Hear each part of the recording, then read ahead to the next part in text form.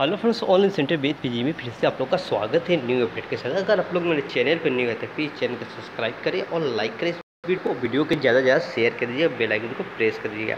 आइए रुक करते एक न्यू अपडेट की तरफ़। ध्यान दें कैंडिडेट आप लोग बिहार दरोगा का जो आप लोग एडमिट कार्ड निकाल रहे थे ध्यान दें जो बिहार दरोगा का एडमिट कार्ड आप लोग को जारी कर दिया गया है, ठीक है?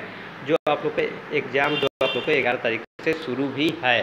ठीक है, अब डेट को क्या, कि चुनाव के कारण जो आप लोग को डेट है दरोगा का, जो कि पोस्टपोन कर दिया गया, अब इसको डेट को आगे ले लेकर जाया जाएगा। ठीक है, और दूसरी बात ध्यान दीजिए, जो आप लोग बिहार ड्राइवर का जो आप लोग को फॉर्म आया था, उसका भी आप लोग का जो जो एडमिट कार्ड था, उसका भी पोस्टपोन कर दिया गया है। जो आप लोग को एडमिट कार्ड जो जारी कर दिया गया था, उसका भी आप लोग को पोस्टपोन कर दिया गया सबके स्टूडेंट के पास आप लोग को एडमिट कार्ड तो पहुँच गया होगा, लेकिन आप लोग का एग्ज़ाम जो है, नहीं हो पाएगा। कारण कि चुनाव को लेकर आप लोग को स्थगित कर दिया गया है। तो ध्यान दें, इसके कारण जो आप लोग को नोटिस इस पर नहीं पहुँचा है, जो आप लोग को साइट पर आप लोग को नोटिस कैंसिल का पोस्टपोन का नहीं दिया गया है और इसका जो न्यूज़ है आप लोग को, आज ही के पेपर में आप लोग को दे दिया गया है। चलिए उस पेपर के माध्यम से थोड़ा सा पढ़ लेते हैं।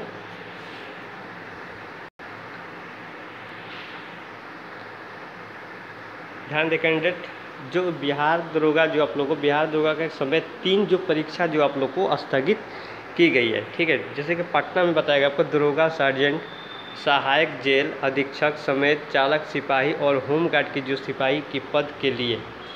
ध्यान दें, जो आप लोग का चालक सिपाही है और होमगार्ड की भी परीक्षा है आप लोगों का और दरोगा का भी परीक्षा है आप लोग को, इस सारा चीज़ आप लोग को बताया गया आपको कि जो होने वाली जो लिखित परीक्षा है, जो स्थगित कर दी गया गई है। और चुनाव के चलते परीक्षा केंद्र पर उपलब्ध नहीं होने के कारण के चलते ही निर्णय लिया गया है। और चालक सिपाही की परीक्षा, जो सिपाही की परीक्षा का आयोजन केंद्रीय चयन परिषद सिपाही भर्ती द्वारा किया जा रहा है। लेकिन परिषद ने परीक्षा को स्थगित करने का जानकारी दी है। ठीक है, इसका अब ज़्यादा जानकारी देना चाहते तो हिंदुस्तान पेपर में पेज नंबर टू से बढ़िया से पढ़ लीजिएगा। ठीक है तो सारा चीज़ आपको मिल जाएगा। थैंक